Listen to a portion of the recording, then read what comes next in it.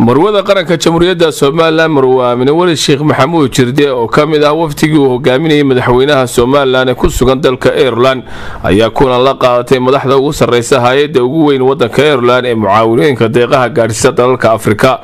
taasoo loo yaqaano cosen worldwide charity. Marwada madaxweynaha marwe aamine waris waxaa xarunta hay'adda ku qaabilay gudoomiyaha hay'adaasi dominik iyo saraakiisha sarsare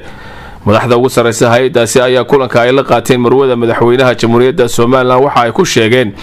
in laamaha ururkooda ee afrika ay qaybo ka mid ihi ka shaqeeyaan gobollada galbeed ee dalka gaar ahaan gobolka gebili islamarkaana ay u qorshaysan tahay inay isbeddel ku sameeyaan sidii gobollada kale ay hay'addu u gaadhi lahayd.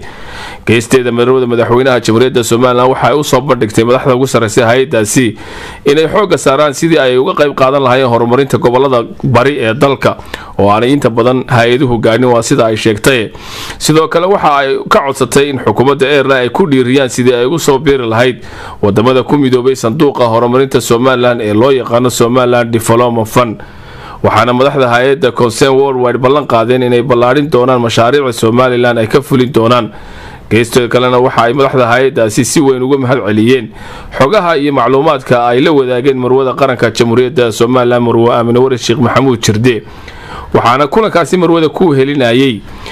wasiirka wasaaradda warfaafinta wacyigelinta somalilan cabdulaahi maxamed daahir cukuse la taliyaha madaxweynaha ee hay'adaha caalamiga iyo kuwa maxalliga cabdifataax siciid axmed iyo la taliyaha madaxweynaha ee arrimaha saxaafadda khadar xasan cali gaas. Waa muniir axmed cigaal telefishinka qaranka magaalada dublin caasimada wadanka airelan